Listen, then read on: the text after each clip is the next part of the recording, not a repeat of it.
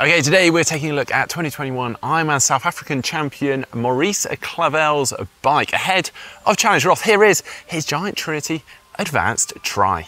Oh wait, oh, that's a little better.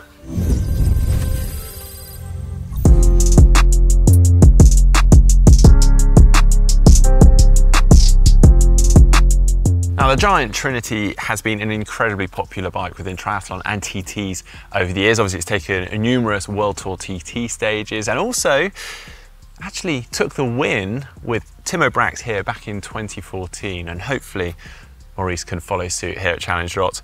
Obviously, this is the triathlon version of the Trinity with options for integrated hydration and storage, which we'll get onto very shortly. But first off, let's take a closer look at the front end. In terms of the base bar, this is actually reversible on the Giant Trinity, and you have a range of 40 mil by flipping it one way or the other. Obviously, Maurice has opted for the more aggressive and lower position.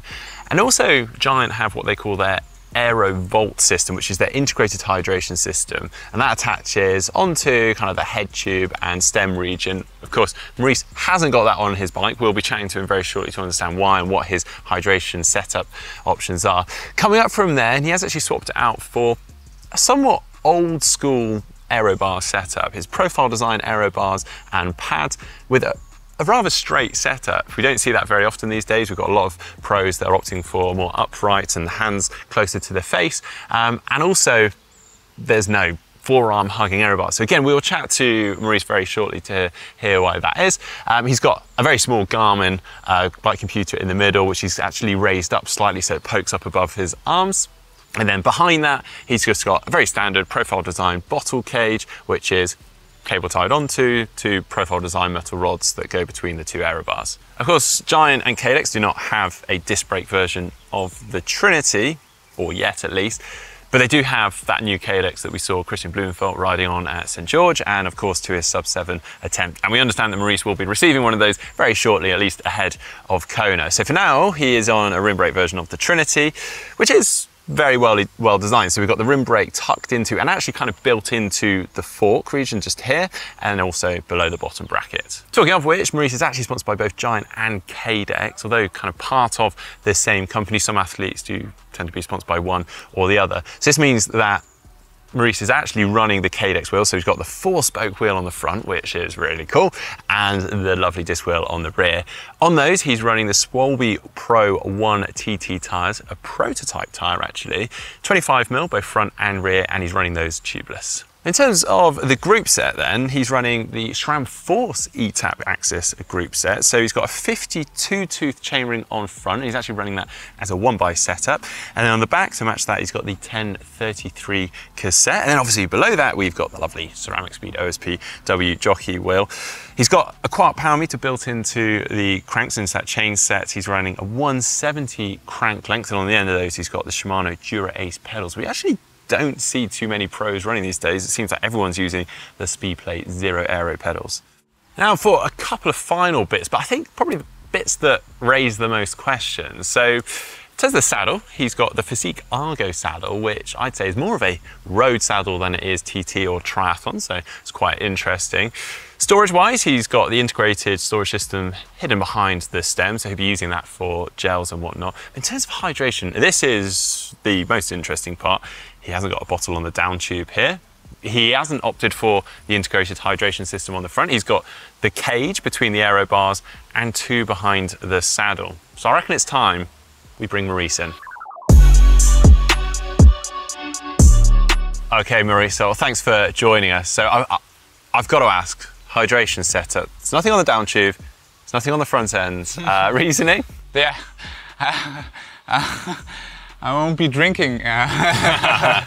no, I'm joking. Um, yeah, I'm running pretty old school, let's say, uh, with my uh, hydration tactics yeah. for for Roth. Um, yeah, as you can see, I have two two bottle cages behind the saddle. Okay, we've tested this. This is uh, like doesn't matter. It's easy to have it behind. And then the third one, I have it uh, in between my, my extensions. Um, and that's just a normal bottle. It's, it's not just got a, normal bottle, okay. nothing. Yeah, it's just really old school, normal normal uh, bottle.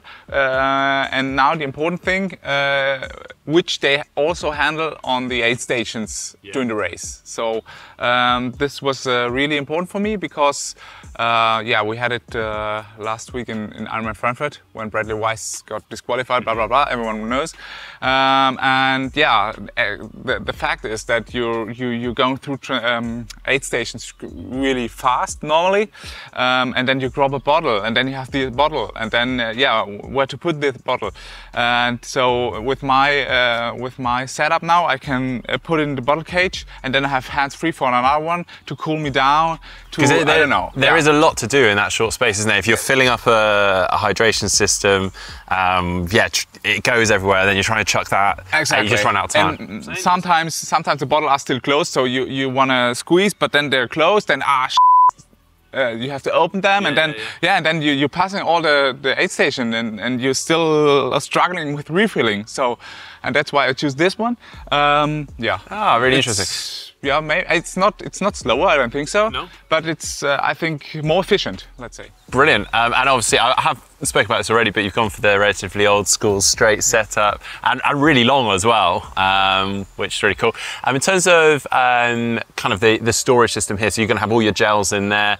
Is that is that how you tend to fuel, just through gels, or do you put that in your, your fuel in your bottles? Yeah, yeah, I will do. Yeah, my my fueling bottles are will will, will be behind the saddle. Okay. Yeah, and here in in the in this smaller uh, storage box here, I put some some bars, Okay. um, just to be sure to have enough uh, with me. Um, and yeah, that's that's that's my plan. Cool. Yeah, and in, in between the extensions in front, it's only water. Right, okay.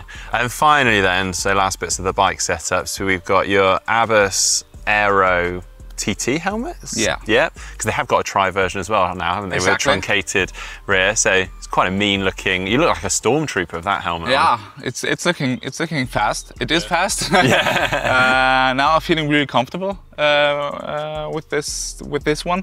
Um, no, I mean yeah, there's a good uh, ventilation uh, and yeah, still it's a time trial helmet made for time trials. Yeah. Uh, but still a good ventilation. So for for me, the the ideal ideal helmet. Brilliant. And then the Bont shoes, which I'm a fan of. I've, I always like Bont shoes. Um, so yeah, this is obviously a conscious decision. Are you just a big fan of them, or? Uh, yeah, um, a few few months ago, um, I I, I said, okay, let's let's gonna try these shoes because they look like a bit fancy and they look really stiff, and I really like stiff uh, stiff shoes.